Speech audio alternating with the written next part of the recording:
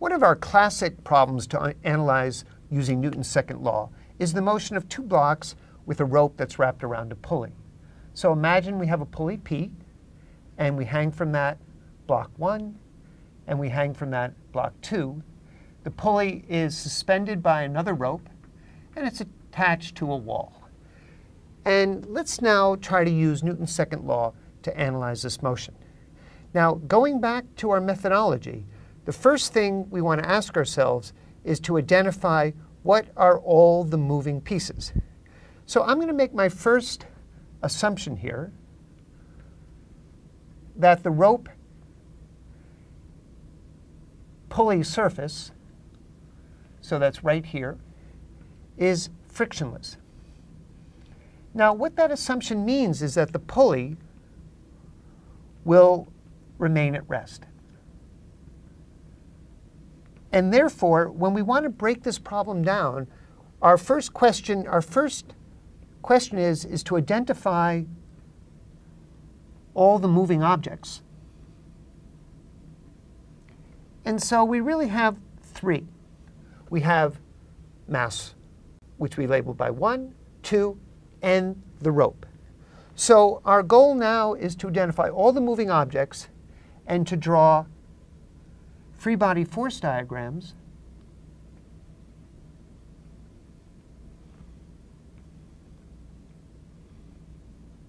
for each moving object. Now, one of the things that I'm especially interested in talking about is to keep in mind to identify action-reaction pairs.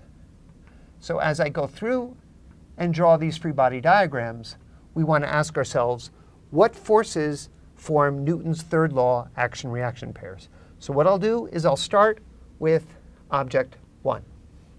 Now, object 1 has a gravitational force, m1g, and the rope is pulling object 1 up with the tension at the end of the rope, T rope 1.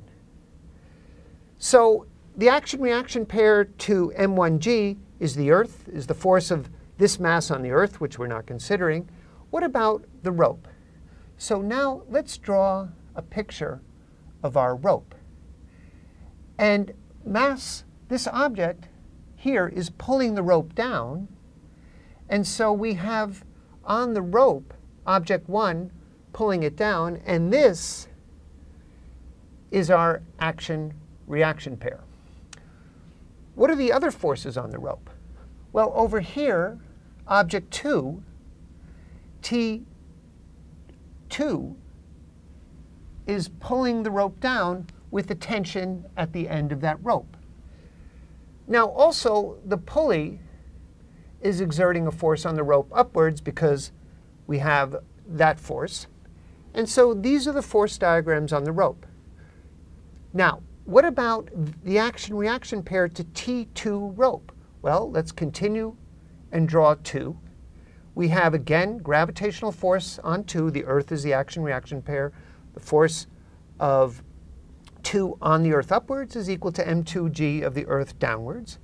We're not drawing the Earth in this picture, so we don't show it. Now here is the force of the rope on 2, and there is our other action-reaction pair. So these are the Newton third law pairs in this object. Now, now that we've identified all the forces, we want to apply Newton's third, second law to each of these objects so that are moving. Um, so let's begin by remembering that if our rope, our next assumption here, let's assume that the mass of the rope is very light, and then the tension in the rope is constant, and the implication of that is T2R equals T1R. And that's why we can now identify this as T and that as T. A little bit later on, when we talk about pulleys that have mass with friction between them, the tension on the two sides of the pulley will not be the same. But for the moment, we've made these assumptions, and that holds. And now we just really have objects 1 and object 2 to analyze.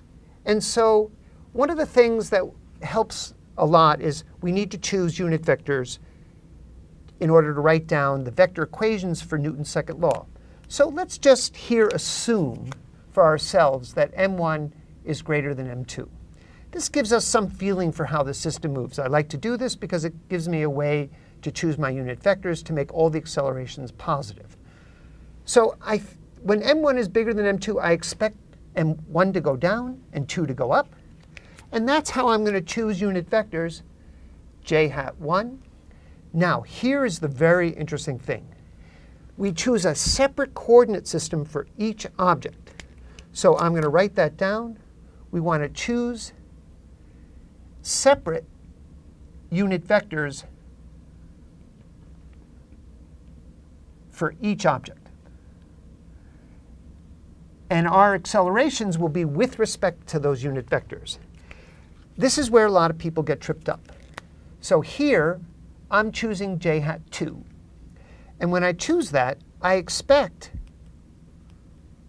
a2 to be positive because 2 is going up in the direction of j hat. And here, I expect a1 to be positive also because 1 is going down. Now I can draw Newton's second law on 1. So I have F1 equals M1A1.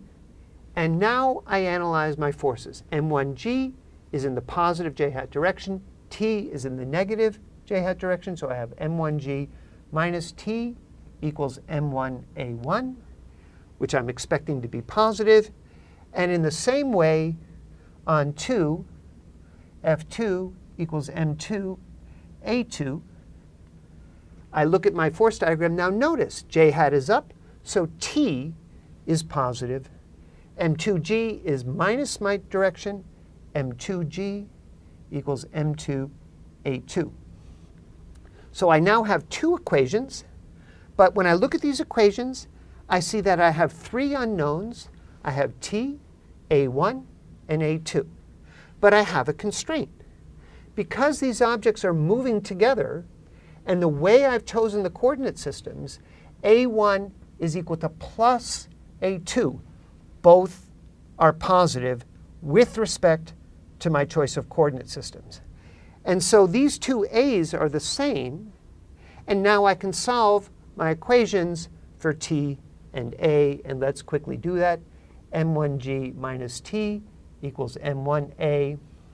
And over here, um, let's solve for the tension for the accelerations here. t is equal to m2a plus m2g. And when I substitute the t into that equation, we'll find some space for that.